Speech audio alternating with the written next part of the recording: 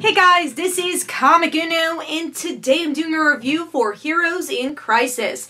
So let's start talking about this issue. A lot happens here, and uh, this was an event I was really excited for. I'm a huge Tom King fan, and I really like stories that focus on psychological aspects of characters, and here we get to see trauma within superheroes, something that's not really focused on as much for these characters. So what happens in the story, we get to see uh, flashbacks and the present. The flashbacks are interviews of heroes going into the sanctuary uh, where they're holding heroes dealing with trauma. So you have Roy Harper, you have Wally West, you have Booster Gold, Harley Quinn, uh, and you get to see interviews with them. Uh, but in the present, we see that uh, Batman, Superman, and Wonder Woman discover at Sanctuary, which they all helped create, uh, the heroes are dead. So spoiler alert, we see Wally and Roy dead. Oh, so we'll have to see where that goes. Uh, we'll talk about that.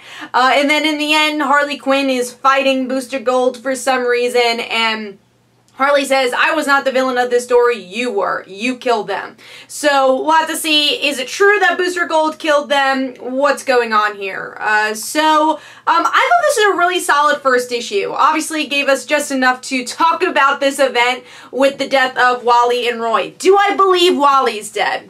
No, I really don't. They just had him return, and I know that's the aspect I think most people are going to be upset about, and Teen Titans fans in general I'm going to be upset about Wally and Roy. They really uh, tackled them.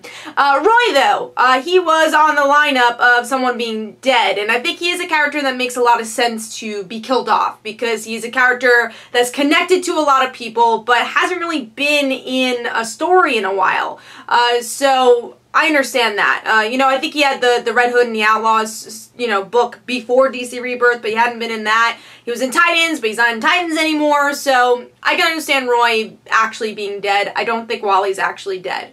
So I don't think people have to go up in arms with that one. And maybe Roy's not even dead, and it's actually some other character, and this is just a red herring. Uh, so, but that's the cool mystery that's building with this book, is that um, we don't know what's going on, and obviously, in, in my opinion, every good event book, and especially uh, a, a, comic book story with a beginning, middle, and end, starts with a mystery, especially from DC Comics. Uh, one of my favorite events is Identity Crisis, and I mean, it's hard to compare this with Identity Crisis. I think Identity Crisis so far has done it better because uh, it is a very similar story dealing with trauma, dealing with secrets of superheroes and a death. Uh, right now, I think Identity Crisis has done it better, but again, it's only the first issue of Heroes in Crisis.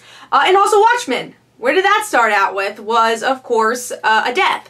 So I like the mystery uh, that's surrounding a couple of these deaths and like, what the hell happened? Who's the killer? And it's this interesting detective story, uh, which hopefully will dig deeper to the psychological aspect of the characters. You get a little bit with it, um, with the interviews, like Roy talking about his addiction, I thought was a really good scene. Uh, seeing Harley Quinn uh, actually talk about her medical background, which was cool. Uh, so we got a little bit of that. I didn't know how to feel about Harley here though, because I felt like she kind of went off the rails very quickly. I didn't really get her motive, and, and hopefully as the series goes on, we understand her motive a little bit more, because she's become more of an anti-hero than villain. So we'll see where that goes. But I know she's kind of just thrown in there as a wrench, uh, in a, I guess a red herring, where it's like, oh, you think it's Harley who uh, killed them all, but it's probably Booster Gold. But you think it's Booster Gold, but it's probably someone else. So uh, I like the the mystery that's uh, here, and uh, with Clay Mann doing the artwork here, I think the, the art is so good, and he obviously works very well with uh, Tom King. They've worked together in the past, and Tom King has a very cinematic mind, and you really get to see that, especially here with the documentary segments, and just the way that uh, these things are paneled. So I enjoyed that aspect of the comic as well. So overall, I'm going to give this a solid four stars. I thought it was a good start, and definitely got me hooked for the next issue, and I think it's going to be a conversation starter, which I feel is important with these events. So hopefully you guys enjoyed. This is Comic Uno. Uh, don't forget to follow me on Twitter. Don't forget to like my Facebook page. Also, description below, there are links to my comic book, Like Father, Like Daughter. And don't forget to like the Facebook page of Like Father, Like Daughter. And I'll see you guys later.